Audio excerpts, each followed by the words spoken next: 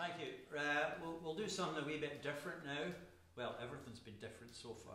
Uh, uh, but uh, we'll play you a, a tune, and uh, this comes from uh, an album that we made about an 18th century Scottish seaman uh, who was born with the name John Paul, but he became more well known, more infamous as John Paul Jones.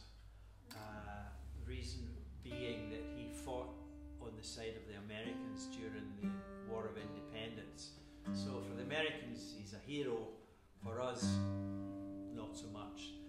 Uh, and uh, but it was a long time ago, so we can look uh, uh, more tolerantly at him. He had a very interesting, in, indeed color, colourful life, and uh, spent uh, time in America, time a lot of time in France. He was a, an admiral in the Russian Navy at one point, uh, so he got around.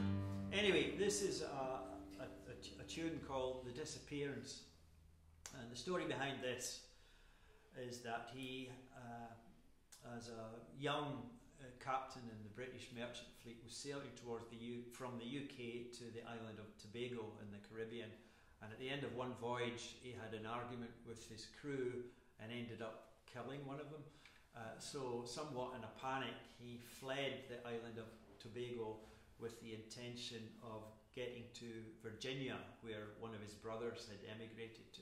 He thought he would lie low for a while. So, I don't know how good your Caribbean geography is, but Tobago is right down at the very bottom, just, just off the coast of Venezuela. So to get from there to uh, Virginia in, in the mid uh, 1700s was quite a feat. Uh, so uh, he, he was missing. He was on the run, but nobody knew where he was for a period of 21 months. So that's why this tune is called The Disappearance.